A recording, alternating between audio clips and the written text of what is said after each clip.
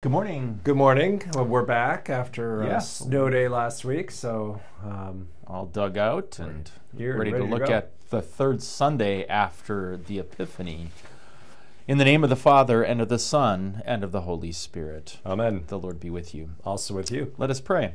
Almighty and everlasting God, mercifully look upon our infirmities and stretch forth the hand of your majesty to heal and defend us. Through Jesus Christ, your Son, our Lord, who lives and reigns with you and the Holy Spirit, one God, now and forever. Amen. The Old Testament reading is from Jonah chapter 3. Then the word of the Lord came to Jonah the second time, saying, Arise, go to Nineveh, that great city, and call out against it the message that I tell you. So Jonah arose and went to Nineveh according to the word of the Lord. Now Nineveh was an exceedingly great city, three days' journey in breadth. Jonah began to go into the city, going a day's journey, and he called out, Yet forty days, and Nineveh shall be overthrown. And the people of Nineveh believed God. They called for a fast and put on a sackcloth, from the greatest of them to the least of them. When God saw what they did, how, how they turned from their evil way, God relented of the disaster that he had said he would do to them, and he did not do it. This is the word of the Lord. Thanks be to God. The epistle lesson is from 1 Corinthians chapter 7. This is what I mean, brothers. The appointed time has grown very short. From now on, let those who have wives live as though they had none, and those who mourn as though they were not mourning, and those who rejoice as though they were not rejoicing, and those who buy as though they had no goods, and those who deal with the world as though they had no dealings with it. For the present form of this world is passing away. This is the word of the Lord. Thanks be to God. And the gospel is from St. Mark chapter 1, verses 14 through 20. Now, after John was arrested, Jesus came into Galilee, proclaiming the gospel of God and saying, The time is fulfilled, and the kingdom of God is at hand. Repent and believe in the gospel. Passing alongside the Sea of Galilee, he saw Simon and Andrew, the brother of Simon, the brother of Simon, casting a net into the sea, for they were fishermen. And Jesus said to them, Follow me, and I will make you become fishers of men. And immediately they left their nets and followed him.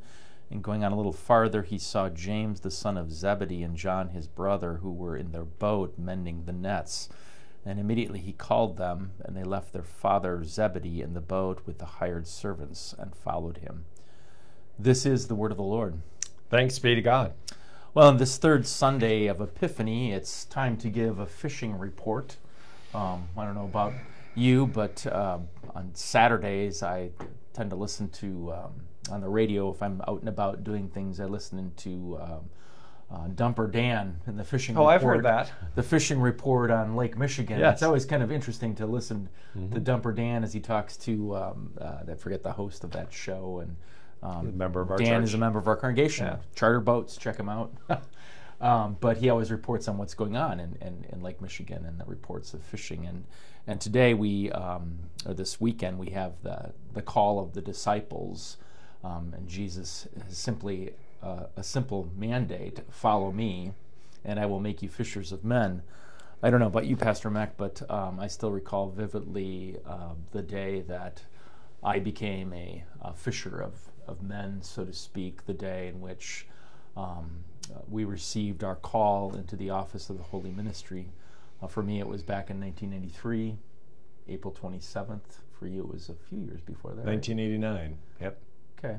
Yeah. And I remember the thing at Fort Wayne that we had. We always had this little um, kind of ritual where we would go into the the the, the, um, the school um, commons, the student commons, and they'd have a big a big map up, and we'd throw darts at it, to see who could get closest to their. Uh, to their place where they were going to call, be called to, and, and I think I remember very clearly mine was someplace off of um, near in California. I think it was Northern California. I was never good at darts, um, but I didn't end up anywhere near to that. Nope. Ended up in Vermillion, South Dakota. Um, you ended up in In uh, DuQuoin, Illinois. And I remember, you know, when I, they called my name and said the city, and they said, it's near Carbondale. I said, where's Carbondale? well, when I heard from Ver- Vermillion, South Dakota, I was like, "Where's Vermillion, South Dakota?" And the guy sitting next to me, um, Paul Byer, still remember him. He said, "You'll be okay. The University of South Dakota is there. My wife went to medical school there." We had SIU there, and uh, Yeah. I remember too. A guy got called the Gun Barrel Texas, and everybody laughed. Well, Fort Wayne always had Zap, North Dakota. Zap, yeah, So yeah. there were these places, but I don't know when you first received that that document, that um, that call, that commission to go out. Um, sort of felt like Jonah, a little bit kind of scared to death uh, about what was going to lie ahead. Um, and our text, the Old Testament text, talks about about Jonah being called to that great city of Nineveh, which was. Uh, a godless city. I don't know much about Nineveh, but I read a little bit about it this week that it was um, um, run by the Assyrians, and the Assyrians were really mean and, and kind of horrible people. Um, and uh, Jonah, I think, knew that, and obviously he had different plans and decided to jump ship, so to speak. and that's it's kind of interesting about the call process, right? Yeah. You you have no choice in it. That just goes so countercultural when we're called Right. out of the seminary. You Yeah. just go where they send you, right? And I would have never picked DuQuoin, Illinois, um, ever. Yeah. And yet it was a great blessing. We stayed there almost nine years. Yeah. And I'll never forget when we visited. We uh, um, were walking down the street and we didn't know anybody, and and um, and uh, the uh, the post office guy says that uh, uh, are you Pastor Mac? And I'm like, yes. How did you know? And the postman, and he said, well, I see you've already began to begun, you know, with mail and that kind of thing. I guess it was um, we had already um, bought a house, but we were looking around and walking around. That's um, how it was. But um, as I think back, and he said, well, I see you're a Packer fan. Um, like. I deliver your mail. So small town and uh, interesting where everybody knows everybody, which was totally different than what I was used to. Our, and the call was pretty simple when you think about it back to those days right out of the seminary. It was simply a follow me, you know, um, go out and this is the message you proclaim. And the message that uh, Jesus gave to his disciples was pretty simple repent and believe the gospel. And notice it had nothing to do with where we wanted to go. It Right. had nothing to do with our interests or, or whatever. It was really basically it was from outside of us that you're going here. Yeah. And that's, like I said, that's totally countercultural when you think about how focused on the inside we are, and and and this call to, re, you know, to go out and then to call people to repentance is to look out is is to listen to God. Don't listen to the inner voice or your psychological self, right? Yeah. And the First Corinthians text picks up on this. Why? Because the time is very short, right? Um, uh, uh, Paul says um, um, that have no dealings with this present world, for the present form of this world is passing away. A couple of special things on Sunday. Um, it's Lutheran Schools Week, and we want to have an emphasis on, on why we have a Lutheran school. And I think the reason why we have a Lutheran school, number one, is because this present world is passing away, and we want to prepare our children for um, the reality of a new life in Christ that they can have, to have them have the scriptures be impressed upon their heart and upon their minds, so that as they go out into this world, they're they're prepared to deal with these things. And life in this world goes quickly.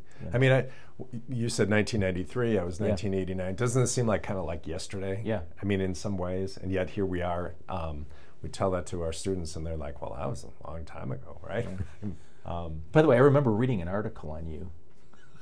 really? Yeah, back in 19, it was maybe 1994. Oh, they did a story, They I did a remember, on story, you Reporter. that little reporter. You Yeah. had started a preschool, Mm-hmm. and there was a great growth to that congregation because of the preschool that you had started there, and and I think that that brings to mind Lutheran Schools Week too, Mm-hmm. Yeah. and and um, the great blessing is for our church to have that on, on how it brings little fish, so to speak, into Yeah. our congregation. Yeah, and it was it was interesting. They were all kind of new, new members, new to the church, so it was it was quite loud in the beginning when you know kids were learning how to um, how to listen, how to how to uh, be a part of the divine service. But they caught on very quickly.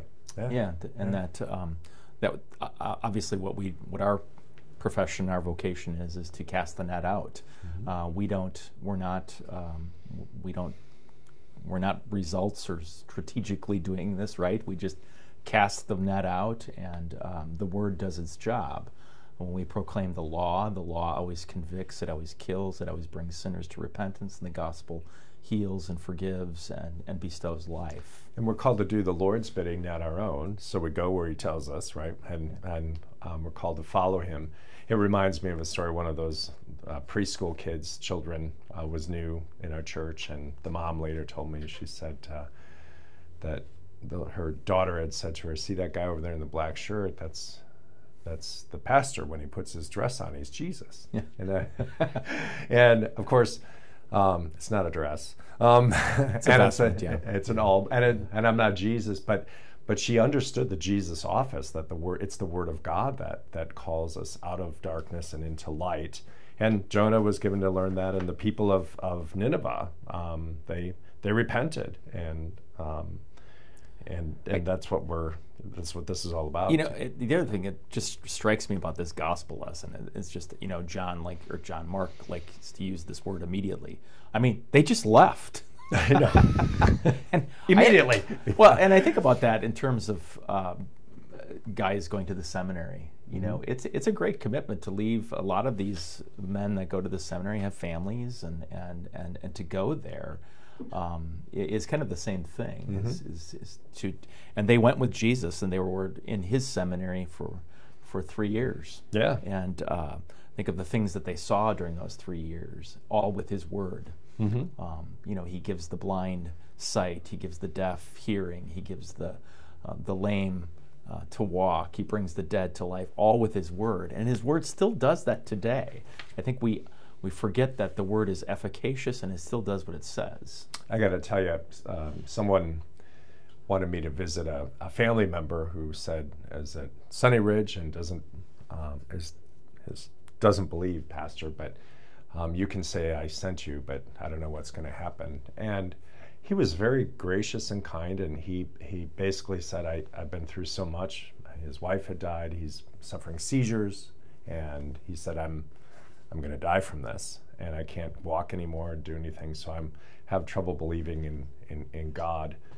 And I said, Well, I'm going to be your pastor here, and, and we're going to talk about how God comes to us in Christ, and and I'm here for a reason, and you know by His Spirit I work through His Word. That's why I'm here, and um, He's going to give you the antidote to all of this.